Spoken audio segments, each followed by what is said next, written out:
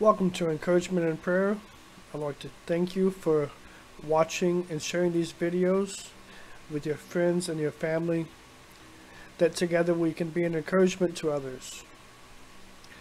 Today, we're coming from Mark chapter 16. On the Sunday, three days after Jesus was crucified, three women went to the tomb to anoint the body of Jesus. But when they entered the tomb, they did not see Jesus there. there. Instead, they were greeted by an angel who told them that Jesus was not there, that he had risen. The angel gave a message to the, the women to be given to the, the disciples that Jesus was going to Galilee and that they would see him there just as they were told. It was Mary of Magdalene who told the disciples the message, but they did not believe her. Jesus appears to two disciples, and they went and told the others. Again, they did not believe. Because of their unbelief, the leaven had to be rebuked by Jesus when we when he came to them. After the leaven being rebuked, Jesus tells them what they are to do. The disciples uh, were to go into the world to telling everyone about the gospel, and anyone who believes will be saved. This is also referred to as the Great Commission. Jesus does not give the call to the apostles only, but he calls them disciples. Anyone who believes and is saved is a disciple and is, and is called to preach the gospel message as disciples go as the disciples go out the lord works with them. We as disciples do not go alone. We go with the lord. So go go to your co-workers your neighbors your friends your family. Live and preach the gospel. So let me uh, pray right now that everyone that is watching, that if you have been saved,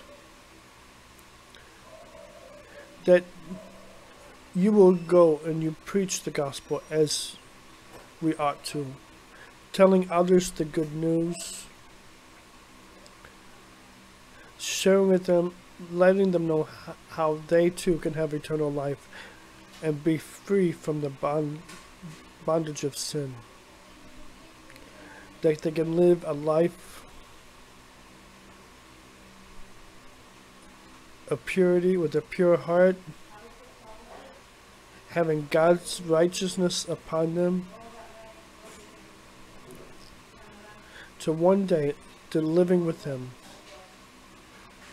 forever, having eternal life.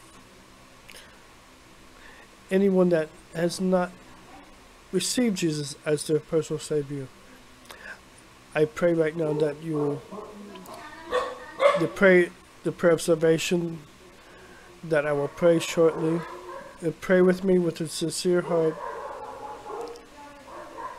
accepting Jesus as Lord and God confessing that you're a sinner and asking for forgiveness. To turn away from evil and what God calls sin.